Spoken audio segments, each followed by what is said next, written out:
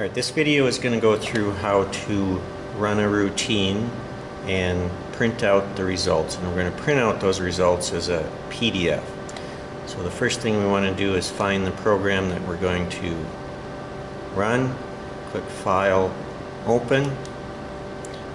I select my routine or my program. I click Open. You can see in the model window that this is the program that I want.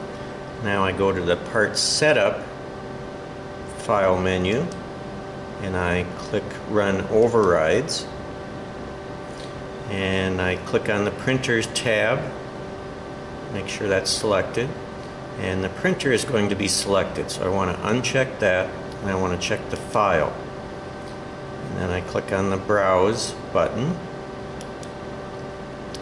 and that's going to take me to the last place that a file was stored and I want to click on the MeasureX results and it's under MACH 2615 Spring 2018. I click on the MeasureX results folder and then I name it. I'm going to name it my name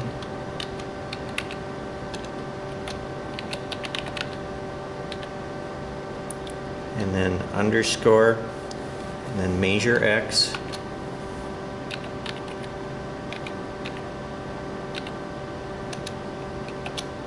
and then an underscore and today's date. And then I click Save. And then I click OK. So now when I run this routine, it's going to print it as a PDF file in the MeasureX results folder. So now I need to run the routine. I click OK.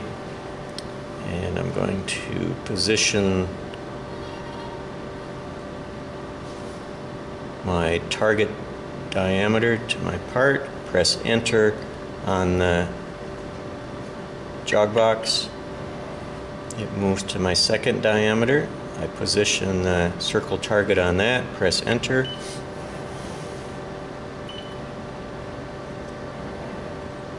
And it runs the routine, measuring all the features.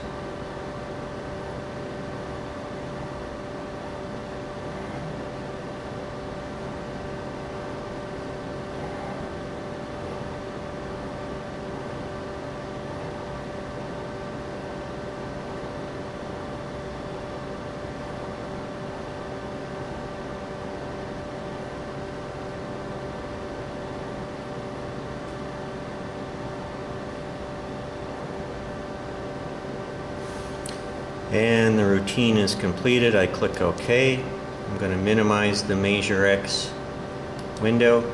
Go to my MeasureX results double click on that and I have my file as a PRT so I can open that and it has all of my results. So I can save this to my flash drive. Just go file save as save it to a flash drive and then I can take it with me and open in notepad and get my results and transfer those to the final inspection report.